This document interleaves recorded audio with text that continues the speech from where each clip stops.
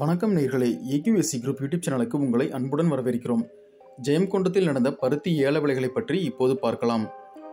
அரியலூர் மாவட்டம் பெரம்பலூர் விற்பனை குழுவிற்கு உட்பட்ட ஜெயங்கொண்டம் ஒழுங்குமுறை விற்பனை கூடத்தில் ஏழு ஏழு ரெண்டாயிரத்தி இருபத்தி இரண்டு வியாழக்கிழமை நடந்த பருத்தி மறைமுக கொள்முதல் ஏலத்தில் ஒரு கோடியே பதிமூணு லட்சத்தி அறுபத்தி ஒன்பதாயிரம் ரூபாய்க்கு கொள்முதலானது.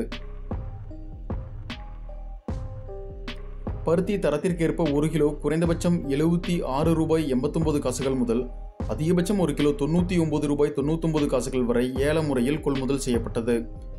இந்த தகவல் பயனுள்ளதாக இருந்தால் லைக் செய்யுங்கள் அனைவருக்கும் ஷேர் செய்யுங்கள். நன்றி வணக்கம்.